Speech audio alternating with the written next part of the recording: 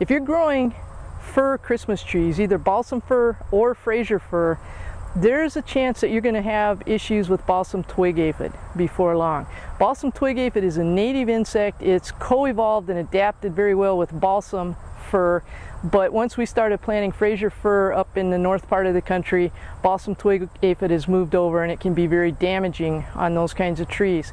It's a sap feeding insect, it's a small insect. The kinds of damage you get with it is that you'll see the needles start to curl up. Every place where a little aphid pokes its mouth parts in to suck sap out of the needle, that causes a dead spot in the needle. The needle bends right there.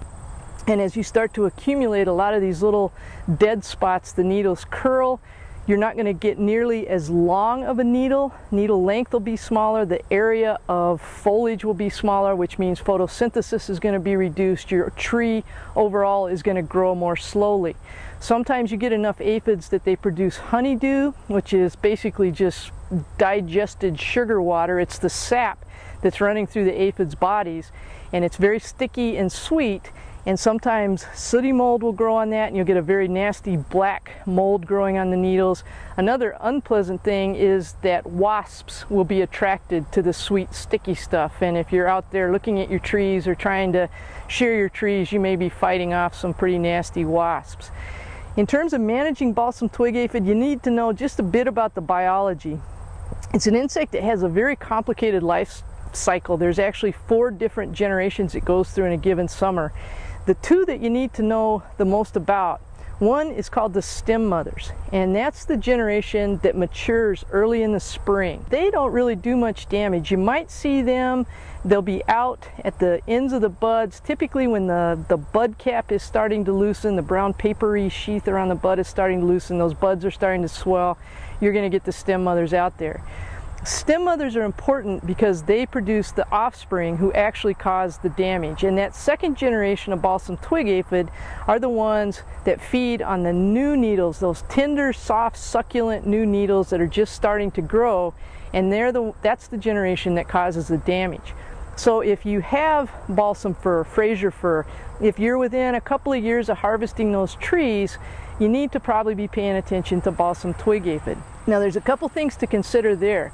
One is that the damage occurs relatively early in the summer. By the end of June, that damaging generation of balsam twig aphids is finished. They've gone away. And the needles will keep growing for several more weeks. And so a tree that looks pretty bad in the second or third week of June will sometimes look just fine by the time late summer and fall gets there and you're ready to harvest the trees. Another thing that happens is that there are a lot of predators that love to feed on aphids. If you think about aphids, they're out there, they're fat, they're little morsels of goodness if you're a predatory insect. Lacewings, lots of different kinds of ladybugs, what we call ladybird beetles, um, the, the immature stage of flower flies, all of those kinds of insects love to feed on balsam twig aphid. And they will clean up a population. They may not eliminate a population in a field, but they will do a good job at keeping it down below damaging levels. If the aphid population gets high, however, and especially if you're close to harvesting those trees, and if you need to use an insecticide, it has to be applied when the stem mothers are active. You don't necessarily want to get it out there too early it needs to be effective while the stem mothers are moving around and feeding so that they encounter the insecticide, but you really don't want to be too late. And if the second generation of aphids have started to feed, they're fairly well protected inside the new buds and you will have missed your opportunity. So if you're dealing with balsam fir, if you're dealing with Fraser fir, keep an eye on the trees that break bud early in the summer. Those tend to be the trees that the balsam twig aphids are most likely to colonize and they're most likely to do well on those trees. Take a look at them, do some scouting. If you need to control them, it's going to happen very early in the summer. Um, somewhere around the first couple of weeks of April, for example, in the, the Lansing and East Lansing area.